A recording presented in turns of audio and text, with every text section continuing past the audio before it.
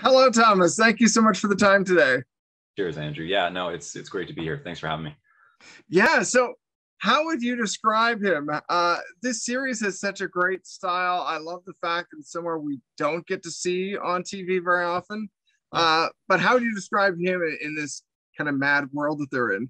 Yeah, he's a well, he's a pilot. First of all, he's he's a he's a pilot captain, which means he's the guy that makes the calls when you know push comes to shove. Uh, so he's he fancies himself, I think, a bit of a leader, and and he likes to be a guardian. He's maybe a little. Uh, he can be a bit rough on the edges, and he likes to pick fights. I think. I think he's got a very. Uh, I don't know what the the the the, maturity rating is on this interview is, but he's got a very low tolerance for bullshit, uh, especially when it comes to the job, because uh, it's a it's a high stakes uh, world that these characters are in, that this TV show is set in. It's it's a it's a medical emergency drama, but you know, up in the sky, traveling at twenty thousand feet, and uh, you know, riding ATVs and snowmobiles. It was that it was such an adventure to, to to make this show. So if we we captured that at all in the filming, you know, I'll I'll be pretty happy. I'll consider that a win. Um, but Nowak is uh, um, yeah, he's a guy with a lot of armor. That's how I describe him. He's got a lot of armor. Um, I think he's developed that over you know the course of having to be very much uh, a survivor. Uh, I mean, you don't make it to northern Canada, you know, living in an outpost in a in a frat house slash barracks with a bunch of other training nurses and pilots without, you know, having a reason, I think, or at least maybe something to run away from. So there's a lot of there's a lot of big big journeys that these characters go on in this series and i think it's one of the reasons why people are really going to connect with it. And they've, they've all got enormous dreams that they're trying to pursue and you know they're they're dealing with some incredibly uh, you know formative life decisions that they have to go through along the way. Like no one's got an easy ride or an easy time through this this story. Um, but you know you get to see how people gel and don't gel and you know punch it out or hug it out whatever it is it's you know it's it's a bit it's a it's you know it's set in the wilderness really for the most part or as close to the you know remote wilderness as we have in in in canada and north america so uh, it's um, i'm glad you said that i think it is a cool setting you know for the film it's one that's not uh, terribly explored like in the media mm-hmm. and, and in film and television. But you know, I think one of our directors, Ron Murphy, said it really best. He was also an EP on the show, so he kind of got the bigger picture of things. And he said, you know, there, there's not a lot of um, unexplored spots on the map anymore. You know, we've all we've kind of got it covered. Like, but if we can give people a taste of, you know, yeah, like adventure, you know, like kind of undiscovered, you know, more more of a more of a savage uh, and and it's tough. Like you you can imagine like I mean just we were filming in Win- Winnipeg, Manitoba, which is sort of like the the far eastern edge of the Great Canadian Prairies, and um, you know even just being you know relatively down south, like it was just so bitterly cold in the winter. Like it it it's it was it was the coldest I'd ever actually experienced hmm. in my life and and you know it's so cold that that cars failed you know and, and camera equipment stops working it, it was uh, you know and these are just the conditions that these people choose to live in you know for for you know months at a time uh, you know sometimes without ever going back to the city or anything like that. And you know just to get a taste of that during the filming process was really cool. It was like our own little mini revenant you know what i mean? We weren't quite like jumping in frozen rivers or stuffing ourselves into animal carcasses but you know you never know. Season two season three. Um yeah yeah. Things to aspire to in the future seasons yeah, exactly yeah i mean i was i was really excited because i got to do all this plane stuff you know nowak's he's a he's he's he's a pilot so they're basically in they're essentially there to support the uh, first responders uh, the, the the the paramedics uh, hmm. so they're on hand basically to help with whatever kind of medical procedures need to be done or carrying people out or just you know they're they're as much involved in the the thing as they are responsible for just getting people there and back safely. So it was hmm. super cool. It was such a hands-on show. I'd never worked on a medical drama before.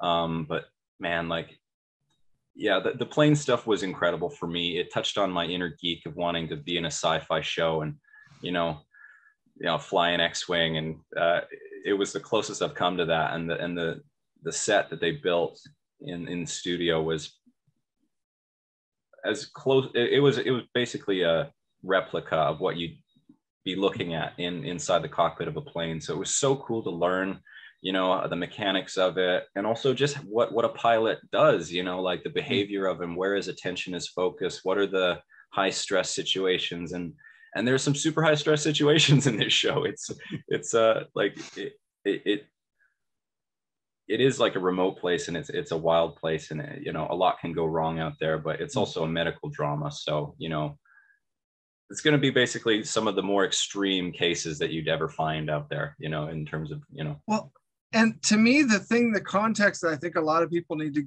think about or go in with or something is that you know in toronto or wherever you are in the country you know an ambulance comes and picks you up and takes yeah, you to the hospital. yeah, yeah. But in some of these places the hospital is hundreds of miles away yeah and so this plane is the life connection basically for these people to survive so it's yeah. it's remarkable to think of the team that it takes in real life and even in the story to make that possible to save lives, basically.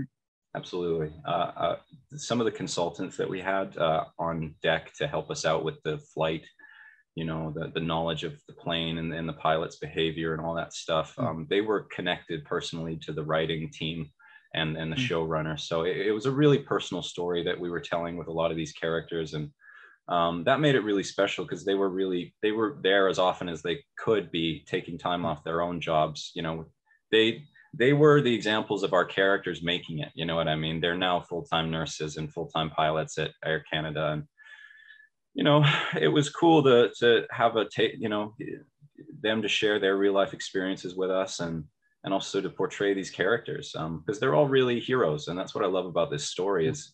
There's a lot of main characters, you know. We've got, you know, you know, Ace. Uh, Ace is Bodie, who's pretty much our leading man, and he does such a fantastic job. Him and I you know, really developed a pretty special bond while working on this project and, and challenged each other. And uh, it was fun. We're kind of rivals in the show too, which I, I look forward to seeing how that played out because we were actually quite good friends. Uh, we became quite good friends during the, the production and hmm. uh, it was quite hard to be mean to him a lot of the time when it was time to, you know, time to go. But yeah, he, he was great. And yeah, uh, this, I, I really like how it's sort of made every single person on that show you know as much as of a hero as you know as as as natasha and ace's character as our leading man leading lady it's yeah it's great. It's great. Well i read at one point that you described him as nowak as the lovable teddy bear in a stern polish blanket. And i love the description. So i'm curious what it takes to break his cool. What what what's the thing that, oh, man. you know well that's a cool one. Yeah like I mean, I think a lot about. Um, he's from uh, an he's from an immigrant family. Um, yeah, that he's he's you know his family's Polish, and he is also you know he doesn't really have their support or their approval, you know, like I have in my life. You know, I'm I'm very fortunate that my parents, you know, sort of they I just had to promise that I would never be an architect. That was the only sort of control they've ever really exerted over my my you know what I did with my life, and I've just sort of stumbled into acting like this. But usually the, um, the warning is no acting either, so that's impressive. uh, sorry, what was that? Usually the, the warning is no acting either, so it's impressive that they uh, that was the warning, no architect. yeah, exactly. Um, but uh, you know, Nowak, I think is fiercely, fiercely independent. Um, he fancies himself a bit of a, a you know, a bit of a Mister Badass kind of, you know, Captain Cool. You know, I call the shots, I call the play. I know what's best in this situation. If you don't like it, get out or just fall in line because I'm in charge. The problem, however, with Nowak is that he doesn't always know the right call and he doesn't always have you know he can his his own personal opinions about things are very very rigid i'd say. He has a very serious like very um you know a very stern moral compass. Uh, he has a very clear idea of what's wrong and what's right and what's appropriate and what's not appropriate. And you know that you should never let your personal life bleed into the job even though you know hypocritically he is constantly allowing his personal judgments about the rest of the team to you know dictate his, decisions and and he's he's a hugely emotional guy i think. He's very protective of the people that he loves and I think he is really desperately trying to find an identity or a place where he can feel like he belongs and he serves some purpose and he's useful you know and he's a bit prickly and you know but i think really deep down he has a desperate desperate need to be needed by something or someone or be wanted you know for who he is um, so it was a cool character to play because it, it was sort of reminiscent of the character I played on the Order, because um, he was also I, I saw him very much as like a guardian in terms of how he served the the, the, the group dynamic and also the story. Um, and he was also sort of dark and brooding, and but really was a bit of a softy when once you figured out you know what what his carrot was you know? And a lot of the time it's just love you know with all these characters. They're they're and it's just like us you know? We're we're looking for love you know? And and we've got big dreams and it's scary to sort of chase those things you know? Uh, there's a lot of really cool stories that i'm looking forward to you know to people experiencing not just my own but what's nice about having like you know you know eight or nine main characters is there's there's just so much room for everyone's highs and lows. So there's always you know even though there's going to be a lot of heavy stuff that we go through i think in this show it deals with some pretty serious subject matter. And i think we've tried our best to treat that with respect um, in terms of just the different stories and voices that we're we're, we're you know showing here. And um yeah yeah it's uh yeah it's been a, it's been a great experience yeah, and I'm, I'm really thrilled for people to get get a taste of it soon july 10th paramount plus and uh, yes. tomorrow on uh, cbc so but. well i've i've seen the first few episodes and i know that uh speaking of love, that things lead towards something with Tristan. But now yeah. I know you can't speak a lot about what's going to sure, happen. Sure. But I'd love to hear if you can tease a little bit about what that is going to be like, because obviously it's a it's a big question on his mind. Yeah, for sure. I mean, I think I think well, I, I don't think uh you know, Keon, my my my fellow actor, did some really amazing, beautiful work. Uh, and, you know, we developed a lot of really good respect and trust. And it was my first time really doing any, you know, intimate scenes. I mean, I'd had some experience. I, I had some stuff on Motherland and a bit of stuff on The Order, but this was like, this was more of a sexy show than I'd ever been a part of. You know, it's like a medical, I was going to ask you about that exactly. Yeah, it's like I mean, it's you know, life and death basically. You know, it, it's it's and very much from what I've heard of it, you know, you know, in the college days, obviously in, in British Columbia up here, that, you know, tree planting was a thing that a lot of people talk about as like a way to, you know, make some money, good summer gig. But it's very similar, I imagine, to what the experience would be like living in these remote outposts like these pilots and these nurses do. It's very much just sort of you know, whoever sort of looks good that evening because it's been a hellish day. You almost got eaten by a bear. You've planted like 300 trees, maybe made $35, and you know, you got to pay for gas and food. And then you just, you know, it's a sort of a more like wild um, work environment than a lot of us are sort of so, uh, accustomed to. So there's going to be a lot of, you know, there's going to be a lot of love triangles. There's going to be a lot of hot firemen and you know fire women and people coming on you know that is oh it's oh we got some fresh meat on the base. And that was sort of what attracted me about this project in the first place was the sort of hybrid uh, we're kind of all in like a army you know we're almost sort of all on deployment together you know in sort of like a, a different bit of a dangerous environment. But you know we're there for sort of you know humanitarian purposes. We're not there to you know gun anybody down. But it's very much sort of the same kind of feeling almost as when you're on a film set too. It's like you're living on a different planet for you know three four five months at a time. And the people around you they become as much your family as they become your uh, your you know uh, co-workers. So yeah without without spoiling too much there's it's a kissy show and and there's going to be a lot of romance but it's i think it's going to also be I mean, it's cool. There's there's going to be a lot of you know life and life and death and close calls and you know you know there's there's as much uh, tragedy as there is joy in this. So I think the people really are looking for more than anything up there is either a release or not to have a release. You know, someone's either trying to cry or not cry or scream or just hold it all in and we get to see them you know we get to see it when the cup runs over for these people. You know nowak in general he likes to push himself beyond what you know some of his physical maybe mental capabilities are you know and he doesn't like to ask for help. And that can be a really dangerous thing you know when you're dealing with people's lives and you know yeah so oh man i'm very excited. So I, am glad you saw the first episode. It's, it's cool to hear and makes me very excited to, to, to watch it as well well, I've just got two quick questions left. So one is, you know, when you're up there doing this, what kind of things did you do when you weren't filming? Were you getting out to kind of explore or jump sure. on yeah, I mean, or sea-doos or yeah, I mean, we did. Uh, we had a you know we had we had a night of fun uh, where we all dressed up together as a as a cast. Uh, you know, but we we had uh, a couple of the others, not of the main main cast, with us. We all dressed up as a as a masquerade ball and went out for Halloween. But for the most part, like I credit those all, all everyone on my team, all the cast, like they were every single day that we weren't filming, we were in the gym busting our butts like an hour at a time. I'm a huge like kickboxing, uh, Thai boxing freak. So believe it or not, Winnipeg had some fantastic, uh, just straight, straight Muay Thai gyms Hmm. So on days when I wasn't filming, you know, I'd go to the gym and, you know, just be put through an absolute grinder by, you know, a guy who, you know, is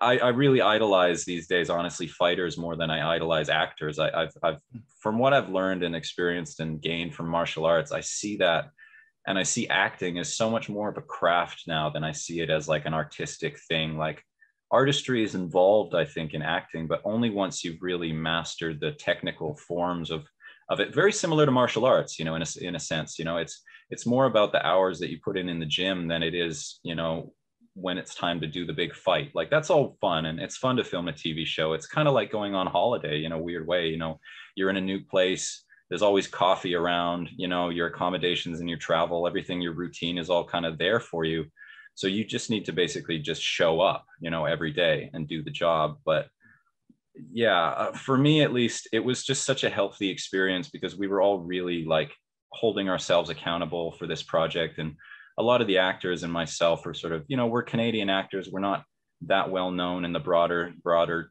scope of things. And, and, you know, to get the chance to really uh, share some Canadian stories and, you know, the landscape and just, I thought, you know, it, it was such an incredible experience and such a privilege to, to be on this project for me but uh, yeah, man, oh, it was good. I just loved getting my butt kicked every day in the gym. It was fantastic. The only thing is, you can't show up with a broken nose or bruises on your face because makeup will kick your butt as well. So, you know, but uh, yeah, it, it's been great. And I credit martial arts a lot to, I think, my recent jobs and my recent successes in the industry. It's been an incredibly powerful, positive force in my life. So, you know, Winnipeg, and uh, I'm going to give it a shot. Dave's Nak Muay Gym, Winnipeg, uh, which is now Dave's uh, uh, Dave's Combat Arts, I believe. So shout out to you, uh, Master Dave. Uh, he whooped my butt hard for about a half hour the first day I came in. I phoned the dojo. I said, "Hey, I'm here for a job.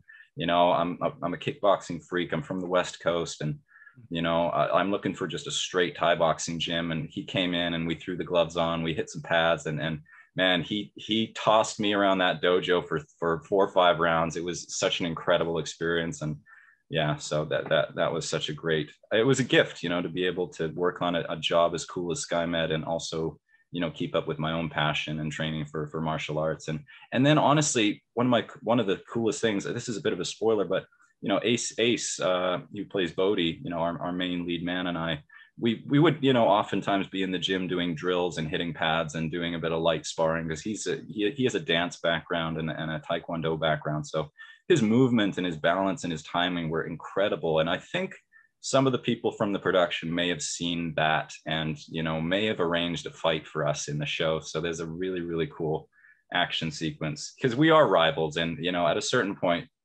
you know it's in the middle of nowhere. The car is broken, you know, or whatever the whatever the thing is. You know, you're at your wits end with the person, and so sometimes you just need to slug it out and you know be surprised that i'm not encouraging violence at all but but uh, you know sometimes it can do wonders for a bit of a cathartic uh, moment so there's going to be a lot of fun to look forward to well the last thing i'm going to ask you is i saw your bio uh, for the show and in it you said you like to sing sea shanties Oh, is heck there yeah, man. is there a story there? Is that for real? I there's no story really, but I was in college and we were doing a production, and one of my uh, classmates that year, guy I really looked up to, introduced me to Stan Rogers. Who, if you haven't heard Stan Rogers, of he's yeah, he's one of the greatest Canadian balladers of all time. I personally think that Northwest Passage should just be the Canadian anthem, you know. But uh, yeah, so